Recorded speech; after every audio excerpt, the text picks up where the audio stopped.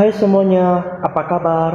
Tidak terasa ya, kita sudah memasuki awal tahun 2021. Serba harap murid-murid dapat meningkatkan semangat belajarnya ya. Lebih rajin lagi dalam mengerjakan tugas sekolah. Sekarang kita mulai berdoa terlebih dahulu sebelum memulai pembelajaran pada hari ini. Ayo semuanya lipat tangannya, tutup matanya, dan serahkan hati kita kepada Tuhan.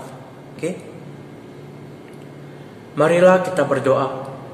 Ya Tuhan Yesus yang Maha Baik, terima kasih ya Bapa atas berkat dan penyertaan yang Engkau berikan kepada kami ya Bapa. Sebab besar kasih dan karunia yang Engkau berikan kepada kami tidak berkesudahan. Ya Bapa yang ada di surga, sebentar lagi ya Bapa kami akan memulai pembelajaran pada hari ini. Berkatilah kami semua ya Bapa agar kami dapat mengerti pembelajaran pada hari ini. Dan jagailah kami ya Bapa, jauhkanlah kami dari segala penyakit. Ya Bapa di surga, doa yang kurang sempurna ya Bapa, kami panjatkan ke dalam tak pengasihanmu, kami berdoa dan bersyukur. Amin. Anak-anak, ayo sekarang kita buka buku cetak agama Kristen kelas 4-nya ya. Anak-anak, hari ini Sir akan membahas tentang keterbatasan manusia. Anak-anak, apa itu keterbatasan? Keterbatasan terbagi atas dua, yaitu keterbatasan atas fisik dan keterbatasan atas kemampuan. Tidak semua orang dapat menyanyi dengan suara merdu atau ahli dalam bermain gitar karena setiap orang memiliki keterbatasannya masing-masing. Keterbatasan tidak hanya dalam hal keahlian, tetapi juga secara fisik seperti yang tadi sudah saya jelaskan. Ada orang yang terlahir dengan anggota tubuh yang lengkap, tetapi ada juga yang Tuhan izinkan lahir dalam keadaan khusus. Mereka tidak dapat melihat atau tidak dapat mendengar atau juga tidak dapat berbicara atau dalam keadaan mental yang khusus.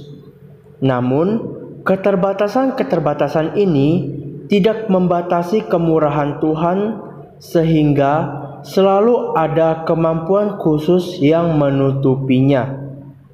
Dalam bimbingan khusus, kemampuan yang Tuhan berikan dapat mengimbangi keterbatasan itu.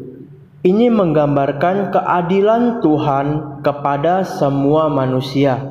Selain itu, keterbatasan juga tidak ada hubungannya dengan sifat atau kebiasaan buruk manusia di hadapan Tuhan.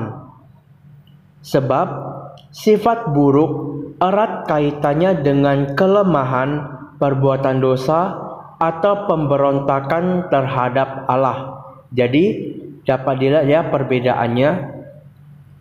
Nah, anak-anak, di sini saya memiliki contoh yaitu Nick Vujicic ada yang tahu tidak?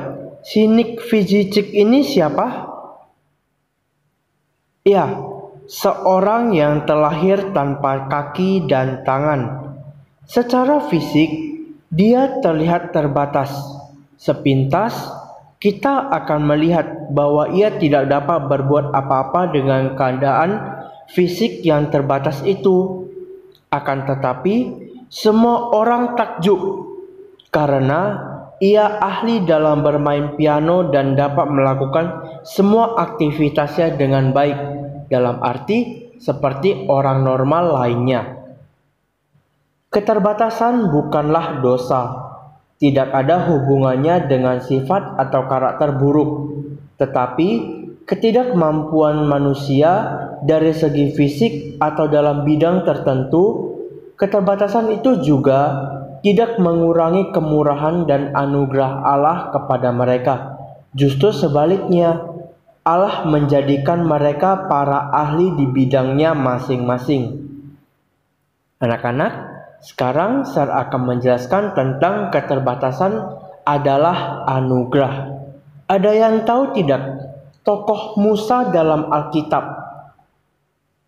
Ya, pasti semua tahu ya. Musa adalah keturunan Ibrani yang dipilih Tuhan untuk membawa bangsa Israel keluar dari Mesir. Tetapi Musa tidak pandai berbicara, maka Tuhan menunjuk Harun sebagai juru bicaranya. Dapat dilihat dalam Keluaran 4 ayat 10 sampai 14 ya. Musa tidak dapat melayani semua urusan bangsa Israel sebagai hakim seorang diri. Melihat keterbatasan itu, Yitro mertuanya memberikan saran agar Musa mengangkat para hakim yang dapat membantu orang lain yang dapat melayani bangsa Israel sebagai hakim. Pada waktu Yesus mengajar, banyak orang datang membawa orang sakit untuk disembuhkan. Orang sakit tidak dapat dimenemui Yesus tanpa bantuan keluarga atau orang lain di sekitarnya. Terlebih bagi mereka yang buta, lumpuh, dan tuli Tuhan Yesus memperlakukan mereka semua sama. Jadi tidak ada yang namanya dibeda-bedakan. Oke? Keterbatasan yang dimaksud bukan hanya dalam hal kemampuan mental atau fisik, tetapi juga yang berhubungan dengan bakat. Keterbatasan memang harus dikenali dan diterima sebagai pemberian Allah. Setiap orang mempunyai keterbatasan yang berbeda-beda. Tidak ada manusia yang terlahir secara sempurna. Keterbatasan ini adalah anugerah Tuhan. Sebab dengan keterbatasan itu manusia hidup bergantung kepada Allah dan saling melengkapi dengan sesama.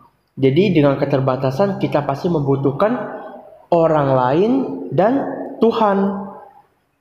Allah menciptakan manusia sebagai ciptaan yang mulia, unik, namun dengan keterbatasan tertentu. Alkitab juga menjelaskan bahwa di dalam keterbatasan inilah kuasa Allah menjadi lebih nyata.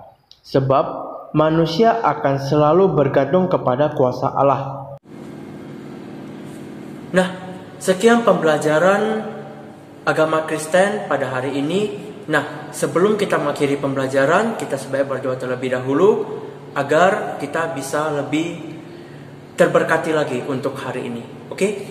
Yuk, semuanya kembali lipat tangannya, tutup matanya dan serahkan hati kita kepada Tuhan. Oke?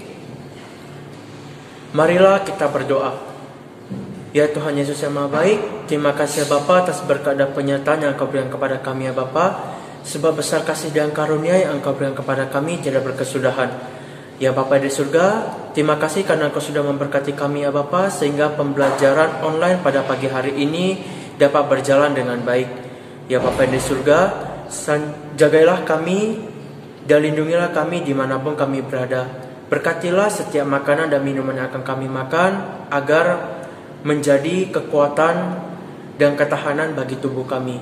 Jagalah kami ya Bapa dan jauhkanlah kami dari segala penyakit. Ya Bapa di surga, doa yang kurang sempurna ya Bapa, kami panjatkan ke dalam tak pengasihanmu. Tuhan kami Yesus Kristus, Sang Juru Selamat kami yang hidup. Amin.